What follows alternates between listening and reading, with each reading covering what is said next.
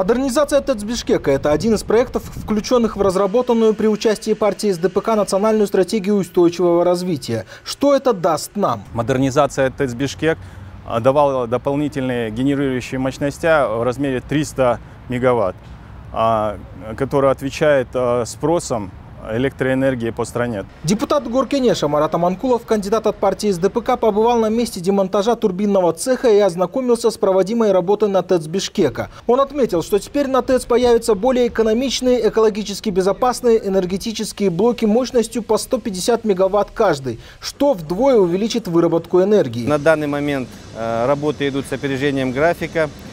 Планируется, начата была модернизация в апреле 2015 года и планируется завершить в августе 2017 года. Уже было израсходовано около 16 миллионов долларов. Стоимость же всего проекта оценивается в 386 миллионов. Кандидат из ДПК Марат Аманкулов подчеркнул, что уже через два года жители Бишкека забудут о вынужденных отключениях электроэнергии и будут жить в условиях стабильно функционирующего города. Мы ждем от этого проекта очень, конечно, большого эффекта. Во-первых, это экономия средств на содержание, на ремонт и так далее. Во-вторых, новые котлы, они ориентированы на наш местный уголь.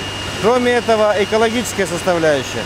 Новые уловители вот этих вредных веществ, которые будут установлены, они на 99,7 очищают воздух, выброс в воздух.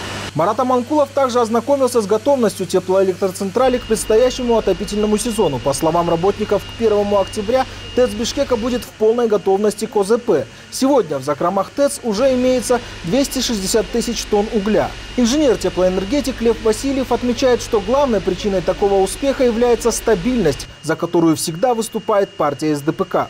Ездили наши представители кыргызстанцев, Китайскую Народную Республику, смотрели на логичное установленное оборудование Китайской Народной Республики и приняли решение отдать предпочтение этой компании как по надежности, так и по несколько сниженной цене. Роль партии, понимаете, вот в этом стабильном экономическом развитии нашей страны. Не какие-то рывки, это заглядывание уже на 5-10 на лет вперед. Также Марат Аманкулов отметил, что помимо модернизации ТЭЦ в Бишкеке уже проведена реконструкция 17 малых угольных котельных. Выполнена замена 34 котлов.